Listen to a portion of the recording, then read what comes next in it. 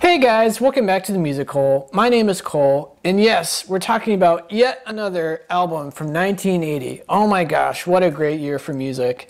And this is Killing Joke's self-titled debut album, which was massively influential in the industrial music scene. It was way ahead of its time. The production work on this album is phenomenal. The only negative thing I will say about it is the lyrics aren't really all that interesting, but everything else is just really good stuff. So I'm excited to share it with you guys. Let's dive in with track number one, which is called Requiem.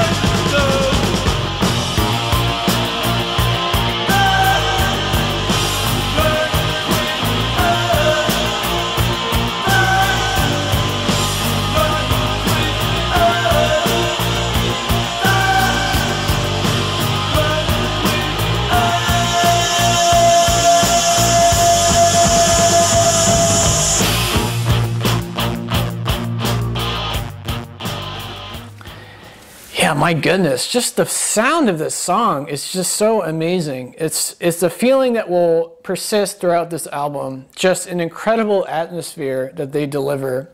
And you know, this song is pretty much a, a very dark and depressing song because they're talking about the end of the world when you've got warring nations uh, you know, they're trying to have peace talks with each other, but words don't mean anything anymore right? And as he says, that's when you got to start to worry.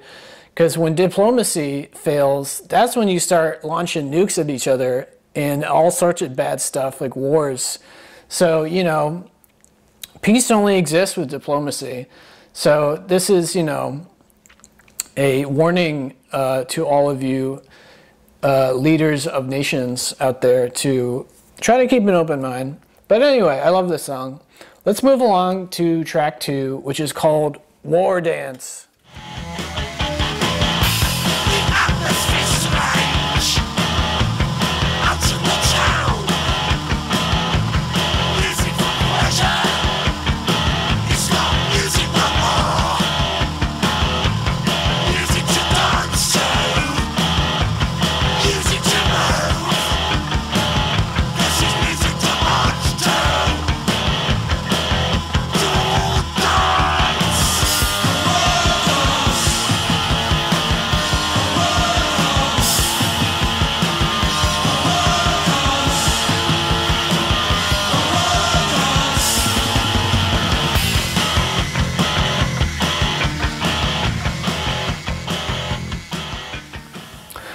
Oh no, the worst has happened. We've gone to war with whoever it is, right? And now this is the music to march to. It's our war dance, right? Um, but you know, he was referring to like a nuclear war in the past song, which is easily the dumbest thing in the entire world. It seems obvious, right? Obviously that you know, if you launch a nuke and destroy a country, okay, you win, but then you can't live there. It's all irradiated so like, why the why would you nuke anything? You can't mine its resources. You can't live there. You know, this seems obvious to anybody with a brain, but then you've got just insane people like, you know, the dictators of the world, like in North Korea, who probably are not smart enough to uh, keep their hands off the button, so to speak. I mean, I mean, thank God they haven't done it yet, but like, if I've learned anything in my 34 years of life is that there are really stupid people in the world and really stupid people can do really awful things. Like for instance, here's a tangent. You know, I've been hearing about all of the awful violence against Asian Americans in America these days because of Trump's you know, Trump keeps saying it's the China virus, right? All of the fringe Republicans all the fringe elements there keep calling it the China virus. So all your not very smart, gullible people hear that and they start beating up and killing Asian people because they think it's their fault. You know. So in other words, like okay, to smart people, you wouldn't want to nuke anything because there's no point. You would destroy the earth and you can't live there, even though you win. But to, to you know, dumb, gullible people uh, committing these hate crimes, I mean, those are the kind of people that would do it. So you, you want to just keep in mind that just because something seems obvious, uh, trust me, there's somebody who would do it. There's some idiot out there who would push the button and end everything. So anyway, uh, that was a rant. So that's Wardance, a really cool song. Let's move on to track three, which is called Tomorrow's World.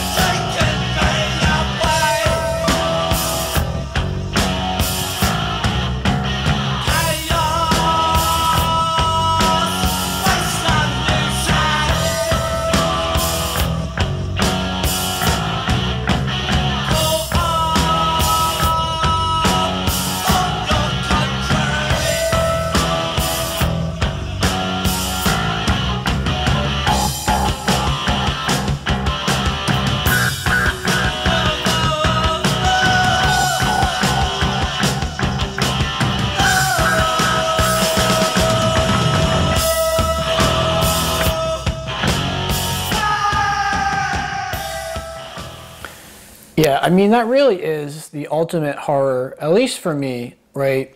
Your country's at war and you have a draft and you have to go and fight, right? I mean, obviously, certain circumstances, uh, it's just inevitable. Like, you have to fight or else you're going to be taken over by Nazi Germany or something, right? And you can't avoid it. Um, but even if that's the case, I mean, still, just what a horror to be forced to kill other human beings, right? I mean, warfare is all about dehumanizing the enemy, right? Making them seem less than you, making them see, making them seem below you.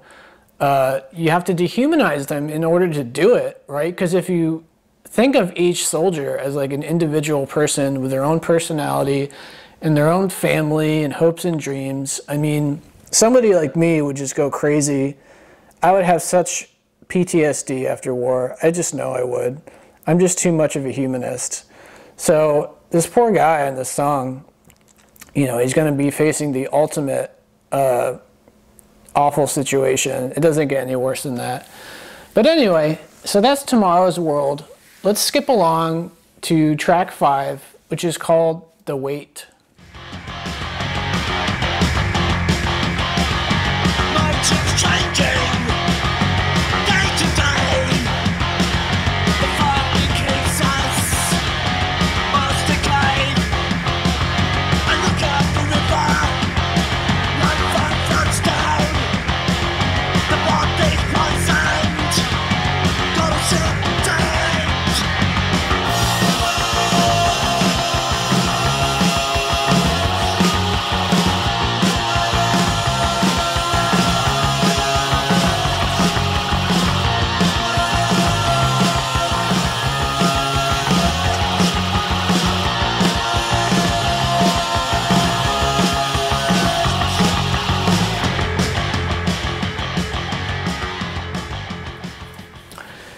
So this is kind of an interesting song, especially when he says motives changing from day to day.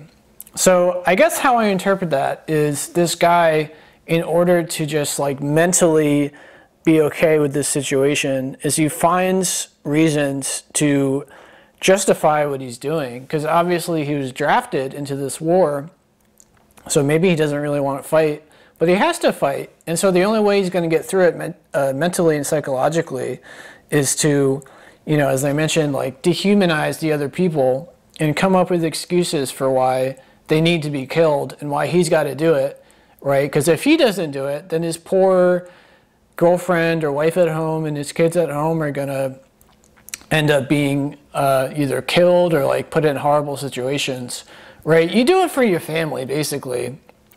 I guess would be the number one reason for anybody for, for any soldier in war is you do it for your family so you get to see them again and so they get to live in peace right? Everything else is just kind of bs so his motives are changing in the sense of like he keeps trying to figure out uh, ways to justify what he's doing. So anyway i like this song quite a bit but let's move on to track number six which is called complications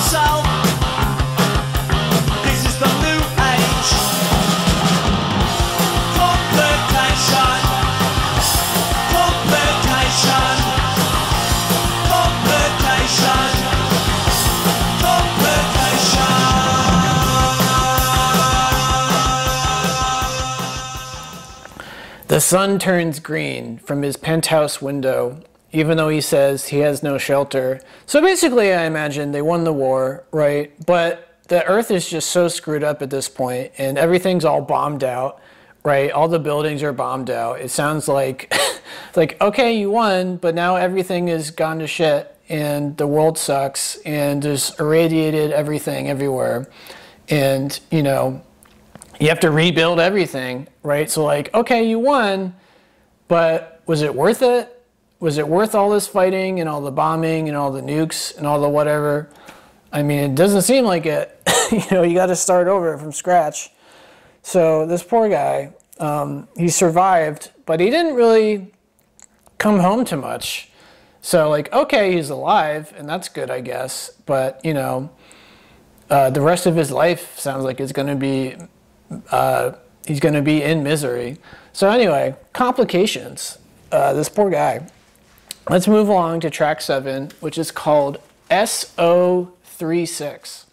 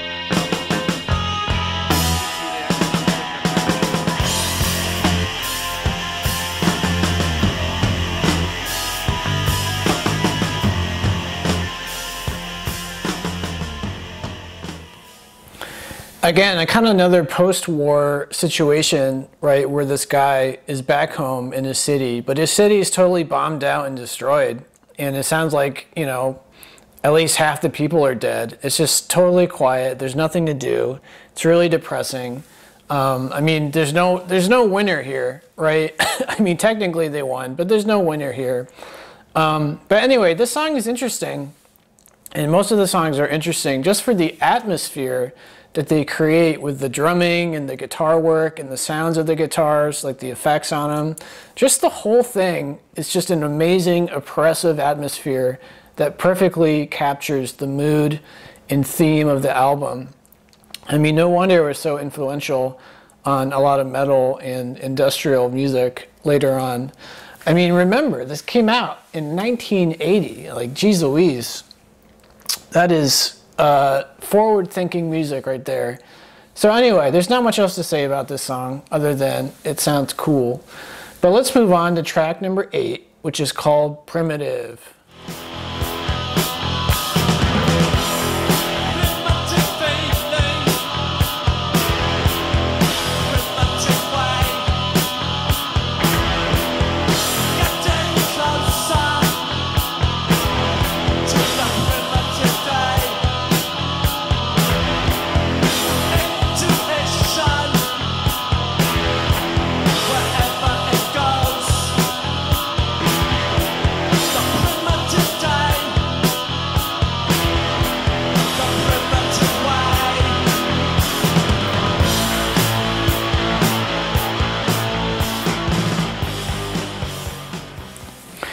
Yeah, so it kind of seems like our poor hero has entered a new dark age, right? Because uh, he keeps talking about, you know, primitive intuition getting in the way, and uh, you know, it sounds like maybe the supply chains are broken, and you know, he's back home, and there's not a lot of food to go around, and the water's poisoned, and the days are uh, all clouded by like poisoned air and water, right? So it sounds like. Um, society is kind of broken down as it as it would if there were nuclear uh, if there was nuclear fallout, right? Because all the supply chains are tainted by radiation, you know, and everyone's kind of fending for themselves. So like we're reverting back to our primitive state where we're just barely trying to survive, right? I mean, in the modern era, obviously, everything is so much easier. You've got you know, people who work at jobs, who uh, do all sorts of things for you that you don't have to do, like agriculture and teaching people and making sure the trains run and cleaning the water supply and like any number of things uh, that you never have to worry about, but they have to be done and someone has to do it. But in this post-apocalypse world, right, not only are like half the people dead, so no one, so there's literally no one doing it, but also like everything is so screwed up um, that it's basically like society is broken down, and we're back to our primitive, uh, you know, living out on the on the tundras of Africa state or whatever, uh, or the deserts of Africa. Anyway, so this poor guy, he survived one hellscape, which is the war, which was already a terrible thing, and probably uh, is living to see an even worse hellscape, which is the rest of his life in this post-apocalypse. So he's not having he's not having a good time. But anyway, let's move along to my last clip for you guys, which is from the last track. It's called Change.